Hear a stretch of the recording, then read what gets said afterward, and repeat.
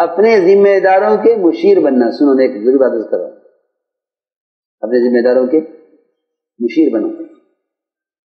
बहुत ज़रूरी बात करो तो एक तो है मुशीर बनना अपने जिम्मेदारों का। वो तो होते हैं वज़ीर। वो कौन होते हैं? वो वज़ीर होते हैं।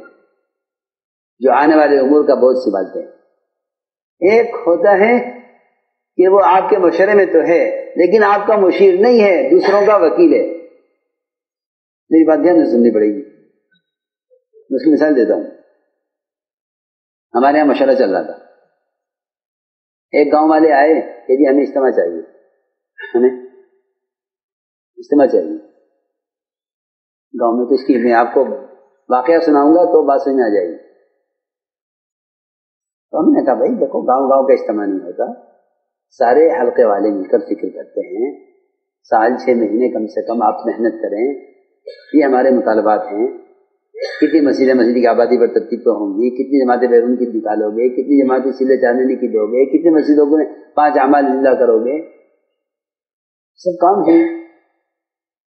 ऐसा तो है नहीं कि आप गाँव का इस तरह रख लें, यहाँ से कोई चला जाए उसको समझा रहा था काम की। तरतीब इज्तमा कैसे रखा जाता है, इज्तम का क्या मकसद है? पब्लिक जमा करना और बयान करना तो मकसद नहीं है। तो मेहनत है। तो वो गाँव के इलाके वाले बैठे थे। सब। मुशरे में पूरा गुजरा भरा हुआ था उनसे। यही हमें तो इज्तमा चाहिए। तो वो अपनी बात कहते थे अपनी बात समझाते थे। वो कहने लगे कि करना तो वही है जो आप कहेंगे। रद्द मोहम्मद की बात। तो मेरे एक साथ बैठे हुए थे मुशरे में उन्होंने कहा कि भाई ये लोग आए हैं, इन्हें तारीख दे दो। इज्तमा की। मैंने ये कहा। इनकी तारीख दे दो ना, क्यों देर कर रहे मांग रहे दे दो। चला जाएगा तो वो लोग बाहर निकल कर कहने लगे कि देखो भाई, जो फला आदमी है ना, वो हमारा आदमी है। जो फला आदमी है ना, वो हमारा आदमी बस। इसने हमारे मतलब की बात की।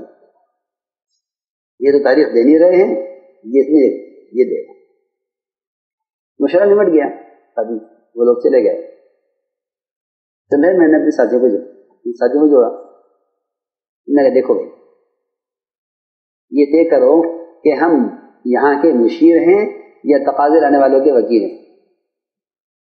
अगर आपकी राय इस्तेमाल देने की थी, आपकी राय हमारे सलाखों पर।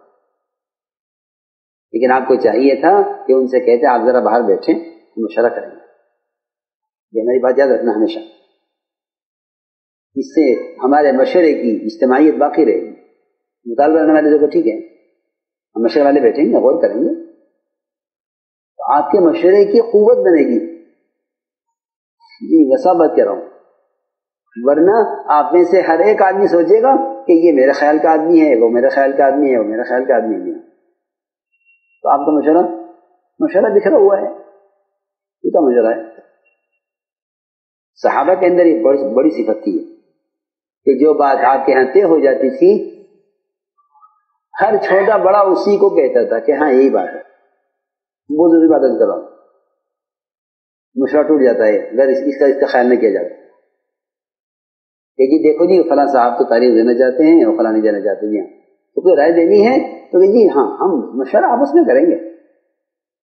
मुशरा हम आपस में करेंगे जी हाँ। ये है तरीका मशरे का जिस बात पर इज्तमायत हो जाए तो बताओ वो बात। और ऐसे कहो कि अगर सारी दुनिया भी आकर अलग अलग पूछे इन सबसे तो सबकी एक बात हो। ये इसको कहते रहते कलेमा। यानी हमारी एक बात हमने ये कर दिया, हमारी एक बात हमारी एक बात जी हाँ। सच्ची कहता हूँ, अगर आपके मशरे में इस तरह इज्तमाहीत हो, जी हाँ तो ये उसूली बात है कि जो बड़े अपने बड़ों से जुड़ेंगे कि उनके छोटे अपने बड़ों से जुड़ेंगे। ये सिलसिला है। ये सिलसिला है, जी हाँ। ये पक्की बात है। अगर बड़ा भाई बाप की नहीं सुनेगा तो पोते दादा की नहीं सुनेंगे। हाँ ये उसूली बात है। सिलसिला है इताद का।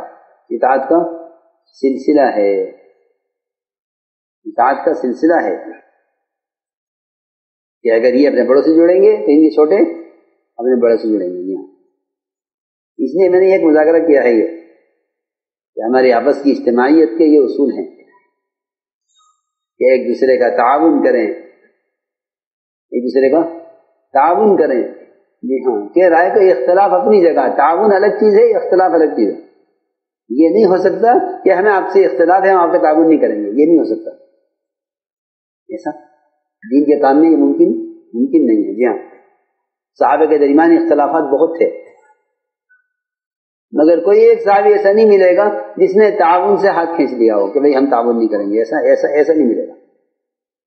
ये दीन के काम में एक दूसरे के मुआविन बनकर चलना है। ये है इज्तमाहीत के उसूल।